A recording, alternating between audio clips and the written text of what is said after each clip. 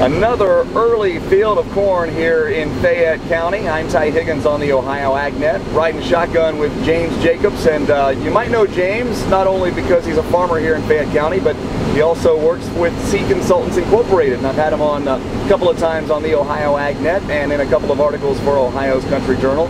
And uh, James, uh, kind of tell us, uh, we were just to your neighbors to the east here in Pickaway County last week. How did things go for the growing season here in Fayette? Well, for the most part, uh, we were lucky enough to get an early start. Uh, April 22nd, I believe this field here that we're in right now was when I first got uh, able to get into it. Uh, so we had a good start here on some of the early stuff, our tiled ground.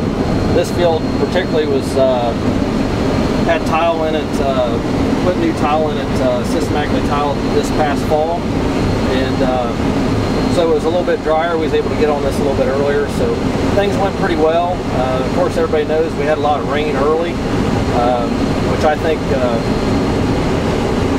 the corn didn't root down quite like I like to see it do. I like like to see it happen. I like to see it get a little bit dry there uh, about June.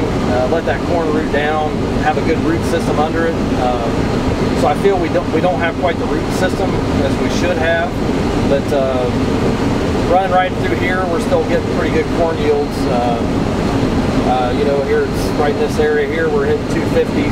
Uh, got a 192 average right now, so I'm, I'm pretty happy with what we have. Uh, I think late July there, uh, about the second, third week of July, we uh, didn't get much rain. It, it lasted for a few weeks there into August. I think that hurt the top end yield a little bit. You know, I think we're probably down 20% from what we should have been getting. Uh, but overall, I'm pretty impressed. Uh, you know, I'm, I'll live with 200 bushel corn average, uh, especially with prices going where they're going. Uh, I'm tickled to death uh, to have what we're having. Uh, this particular variety, it seemed like it, as I've seen everywhere this year, we had a lot of leaf disease issues. This field was sprayed with Headline, uh, but it seemed like northern corn leaf blight hit this early.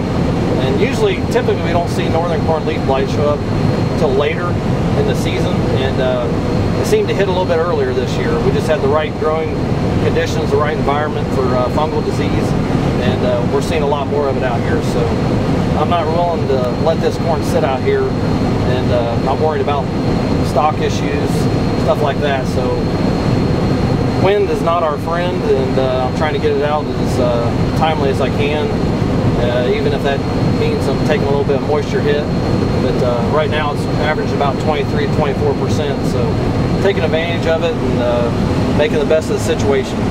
While I have you here, let's talk shop just for a minute. Uh, you obviously work, work, for Seed Consultants, and you're right about where you were as far as seed sales this time a year ago, but you say a lot of guys out there just kind of reluctant to uh, make a decision here at this point because they're not quite sure what's going to happen here in the next couple of weeks or a couple of months. Kind of talk to me about uh, how you even maybe don't know what you uh, might be doing for 2015.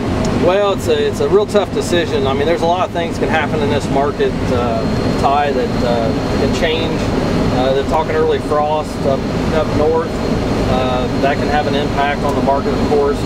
Um, you know, it was a long, drawn-out season, especially for the guys up north. Uh, they had a lot of water damage early, uh, a lot of replanting going on. Uh, I think guys are just wore out, you know, uh, want to get this season over with. They really haven't concentrating on next year's. I try to encourage guys, you know, at least put a tentative order in, you know, least capture some early discounts. Uh, they can uh, make a better return on their investment, uh, save some money here and there where they can. Uh, you know, they're not binded to it or anything like that, but uh, a great way to get something on the books and we can always critique it later. And I know guys are reluctant about, they're not sure what they're going to do, plant corn or soybeans, but we all know that they're all going to plant something. So